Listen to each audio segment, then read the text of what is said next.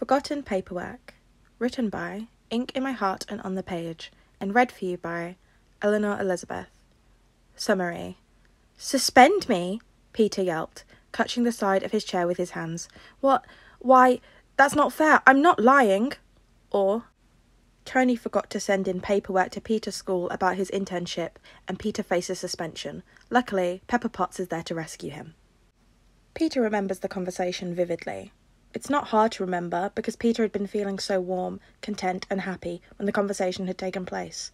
He remembers sitting on the kitchen island on one of the stools, a smile on his face so big that it hurt his cheeks, as he watched Pepper and Tony banter back and forth while they prepared dinner.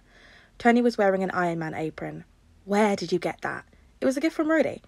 While Pepper was dressed in the most comfortable looking clothes that Peter had ever seen her in, the whole scene was very domestic. Oh, before I forget, I put the papers you need to sign off for Peter's internship on the table, Tony, Pepper said as she poured each of them a drink. You need to sign them and send them in. Don't forget. Why do you say it like that? Tony frowned, hands on his hips. Everyone knows how much you don't like paperwork. Pepper rolled her eyes. All the next villain would have to do is send you paperwork, and you would do everything to avoid it. Peter had cackled loudly at that, and Tony had glared at him, pointing a dripping spoon at him. Enough out of you Underoos, or I'll personally deliver the paperwork to your school. Peter's mouth dropped open at the thought, eyes widening at the thought of Tony rocking up in his suit. No! Tony grinned wolfishly. That's what I thought. What's the paperwork for anyway? Peter's school needs proof of his internship, and since May and I decided that if Peter is using it as a cover for being Spider Man, then he should actually have an internship. Pepper said, sliding a now full glass of soda at Peter with a smile. Starting Monday, you're officially an SI intern, doing one day a week with the other interns and two days a week as Tony's personal intern. Seriously? Peter gasped out, nearly falling off his chair in his excitement. Seriously. Pepper smirked and laughed when Peter tackled her into a hug, squeezing her tightly before bounding away to hug Tony equally as tight. Thank you, thank you, Mr. Stark, Peter gushed. Tony patted Peter's back gently. Don't thank me, kid. This is the first I'm hearing about it, but I'm happy you're excited, kiddo. Pepper always has good ideas. Ned's gonna flip, Peter beamed, pulling back from Tony. Mr. Stark, I can't wait. Tony grinned, chuckling slightly at Peter's excitement. Me too, kid. As Pepper had promised, the very next week, Peter was presented with his very own intern badge and a starter package and received a tour by Pepper herself. When they had reached the labs, Tony had been waiting and introduced him to all the other interns who, to Peter's nerves, were all in college. They had all been a little surprised at how young Peter was, but accepted him into their little circle easily enough. Like the rest of the interns, Peter had been instructed to design his very own project that was in line with SI's values and beliefs and would help benefit the world. One day a week, Peter got to work on his project while Tony circled around the other interns, checking their progress and offering tips and notes as he went. Peter had decided to see if he could create a drone the same size as Droney to help those who had been injured. Peter had gotten the idea when Rhodey had come to visit. He had overheard him speaking to Tony about how he sometimes struggled to reach high things now that he had his braces. The other two days, Peter got to work on anything he wanted with Tony, usually working on their suits or toying with Peter's web solution. Spending time with Tony was the greatest, and Peter found himself trying even harder in school, not wanting to disappoint him or his aunt and Pepper, who would help him get such an incredible opportunity. Peter refused to let such an amazing opportunity go to waste. He had found balance with school, decathlon, and Spider Man, and still had time to hang out with Ned and MJ. So when Peter was called into the principal's office nearly three months later, his anxiety peaked, and he racked his brains for what he could have done. At first, he thought something had happened to May, and his heart plummeted into his stomach. Principal Morita must have seen the panic on his face, because he was quick to assure Peter that his aunt was fine. Peter, you're a good student, one of the most talented that has come through these halls. I have no doubt that whatever you decide to do once you leave these halls, you will achieve, Morita praised. Thank you, sir. Peter gave a small smile. While the praise was a nice surprise, Peter could sense there was a but to follow Morita's statement.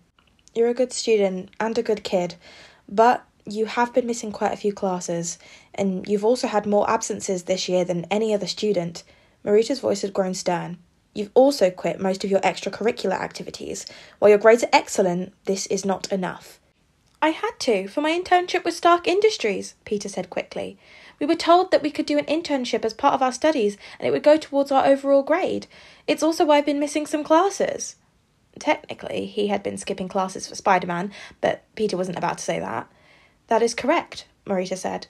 As part of the internship, you had to provide documents from your place of work with a start date and a written report of your work and signed comments from your supervisor, all of which you have failed to produce. Peter blinked. What? No, Mr. Stark sent in the paperwork. I was there when Miss Potts told him to. Morita sighed. Peter, I know this year has been rough for you with the loss of your uncle, and I know you were starting to slip at one point, but you managed to get your grades back up, so I was willing to let it slide. But I'm extremely disappointed that you've started the rumour that you're interning at Stark Industries. What? I'm not lying. I do have an internship with Mr. Stark, Peter defended. Peter, I expected better from you. I'm sorry, but I have no choice but to suspend you for three days, Morita said. Suspend me? Peter yelped, clutching the side of his chair with his hands. What? Why? That's not fair. I'm not lying. Your aunt has been called. Morita ignored Peter's outburst, and she's on her way to discuss this further. She should be here any minute. I want to help you, Peter. You're incredibly bright and have such a good future before you. I don't want something like this to affect it. Not lying, Peter huffed, slouching down in his chair as he crossed his arms. We will discuss this more when your aunt arrives, Morita said calmly. Peter pouted silently as they waited, fighting off the tears that threatened to fall. It wasn't fair. He'd worked so hard, and yet nobody but Ned and MJ believed him when he said he had an internship. He thought the teachers would be thrilled with the opportunity he'd gotten. They were always telling them to reach for their goals and not let anything stop them from trying, and yet none of them believed Peter. Hurt settled in his chest, and he sniffed quietly, trying to wipe his eyes as subtly as he could. He didn't have to wait long before there was a knock on the door. Before Principal Morita could say anything, the door was pushed open. Peter stared wide eyed as Tony Stark himself strode into the room, dressed in his usual business attire and signature tinted sunglasses on his face. Peter's jaw dropped, and he was quickly followed in by Pepper Potts, dressed in her business attire and her hair pulled back from her face, which was pulling into a frown. Mr. Stark, Miss Potts, Morita clumsily got to his feet. I, um, wasn't expecting you. May Parker called, Pepper said, giving Peter a quick smile as she took the empty seat behind him before turning to face the principal, her face cold. Said there was some sort of issue with Peter's internship and you were looking to suspend him. We thought we'd come down and clear it up personally. Tony came to stand behind Peter, placing both hands on Peter's shoulders and giving them a squeeze. Now, why are you suspending my favourite intern? Peter's cheeks flushed at Tony's words. Favourite intern? Morita repeated somewhat weakly. I know I shouldn't have favourites. Sets a bad example for the other interns, but you've met Peter. Tony shrugged. I don't need to tell you how incredibly bright and talented Peter is and how one day he will be better than all of us. Mr. Stark, Peter whined, embarrassed but feeling relieved now that Tony and Pepper were here. They would fix everything. Why exactly are you suspending Peter? Pepper asked coldly. I'm sure there's been a simple misunderstanding. Well, Morita swallowed thickly. Mr. Parker has not filled out the requirements for the work. Pepper picked up a folder from her lap and handed it across the desk to Morita. Inside, you will find the dates that Peter started and all the dates since that he has worked on his internships. Comments on Peter's performance have been signed off by me and Mr. Stark. However, the details on the projects he's working on are classified. Of course, you will find that Peter has been one of our most promising interns that we've ever taken on, also the youngest, Pepper continued, Turning to smile at Peter, she reached over and squeezed his arm, looking back towards Morita.